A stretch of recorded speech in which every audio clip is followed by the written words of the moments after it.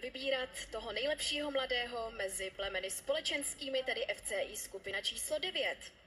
A tu nemůže zahájit nikdo jiný než velký bílý pudl. Přichází pomerančový pudl, střední pomerančový pudl, trpasličí černý, trpasličí stříbrný, toj hnědý pudl, přichází tibetský eh, teriér, Coton de Tulear, Mops, Boston Terrier, Shih Tzu, Grifonek, Bišonek, Lhasa Apso, Maltéský psík, Japančin, Havanský psík, Papilon, Pražský krysařík, Čivava dlouhosrstá a skupinu uzavírá čínský chocholatý pes bez srsti.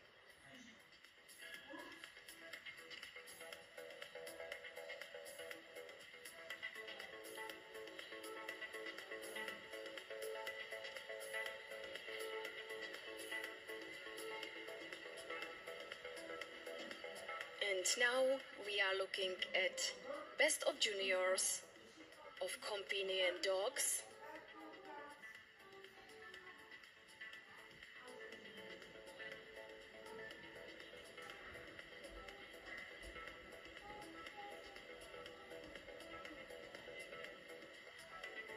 A já doufám, že i junioři z FCI skupiny číslo 10 jsou již připraveni v našem předkruhu.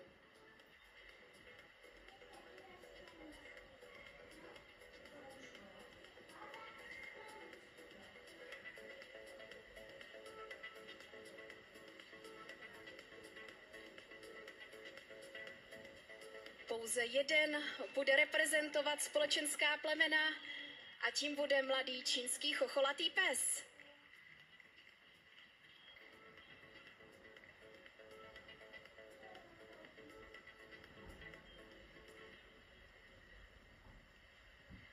The Chinese crested dog is the junior winner of FCI Group 9